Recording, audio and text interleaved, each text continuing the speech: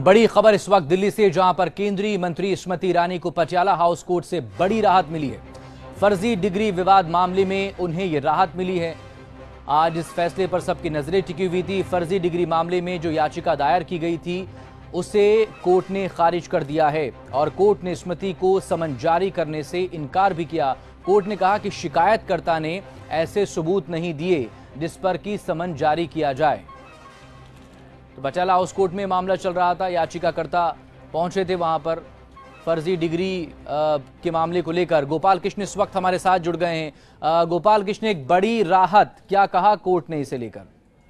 बहुत बड़ी राहत है क्योंकि सबकी निगाह पटियाला हाउस कोर्ट के फैसले पर टिकी हुई थी। आज पटियाला हाउस कोर्ट ने यह साफ़ कर दिया है। स्मृति ईरानी को समन जारी नहीं किया जाएगा। कोर्ट ने माना है कि जो अर्जी दायर की गई है, वह 11 साल बाद अर्जी दायर की गई है और डीले के आधार पर कोर्ट ने यह याचिका को खारिज कर दिया है क्योंकि 2004 में आरोप लगाए गए थे, इन्होंने फर्जी डिग्री ली थी और 2004 से लेकर अब तक लगभग 11 साल से अधिक समय हो गए हैं। इसी को आधार बनाते हुए कोर्ट ने याचिका को खारिज किया है। जी गोपाल तो क्या माना जाए इसके बाद ये मामला पूरी तरह से खत्म हो चुका है या फिर सिर्फ़ समन जारी करने से इनकार किया है? देखिए चूँकि मेट्रोपोलिटन मजिस्ट्रेट के यहाँ मामला था तो इसके यहाँ से मामला यहाँ खत्म हो गया है। अगर पिटिशनर चाहे तो मजिस्ट्रेट के इस फैसले को सेशन कोर्ट में चुनौती दे सकते हैं। अगर सेशन कोर्ट में नहीं देना चाहते तो हाई कोर्ट जा सकते हैं सुप्रीम कोर्ट जा सकते हैं। इनके पास अभी भी विकल्प पड़ा हुआ है। यानी कि पटियाला हाउस कोर्ट में मामला खत्म हो चुका है। आगे अगर चाहे याचिकाकर्ता तो वो जा सकता है।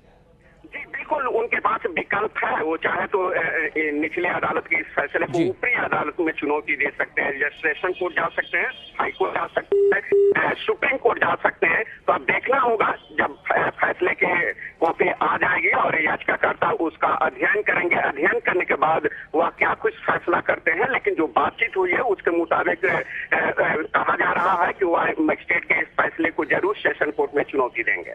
बहुत शुक्रिया गोपाल कृष्ण तमाम जानकारी के लिए अपडेट के लिए आपसे फिर बात करेंगे। तो फ़िलहाल पटियाला हाउस कोर्ट में जो मामला था, वो इसमें जो याचिका दाखिल की गई थी और समन जारी करने की बात कही थी उसे खारिज कर दिया है। पूरा विवाद आखिर शुरू क्या हुआ था और सवाल दरअसल क्यों हैं उनके इस डिग्री विवाद पर ग्राफिक्स के ज़रिए हम आपको ये समझाने की कोशिश करते हैं। मामला उस वक्त सामने आया था। याचिकाकर्ता जब कोर्ट पहुँचे थे डिग्री विवाद को लेकर, उनकी क्वालिफिकेशन विवाद को लेकर। मेरे सहयोगी अजिता आपको बताएँगी।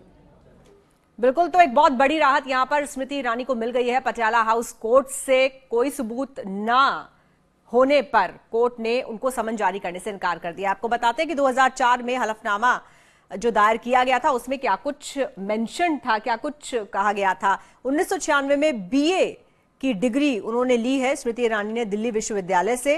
उन्नीस सौ चौरानवे में बीकॉम की डिग्री दिल्ली विश्वविद्यालय से उन्होंने हलफनामे में ज़ाहिर किया था। दर्ज करवाया था कि पत्राचार के ज़रिए उन्होंने लिया। उन्नीस में ही बीकॉम की डिग्री दिल्ली विश्वविद्यालय स्कूल ऑफ़ ओपन लर्निंग से उनको मिली है। तो ये डिग्रियाँ थी जिनको फर्जी साबित करने की कोशिश थी। पटियाला हाउस कोर्ट में इसी को लेकर ये याचिका दायर की गई थी, जिसको आज पटियाला हाउस कोर्ट ने खारिज कर दिया है। मकसूद।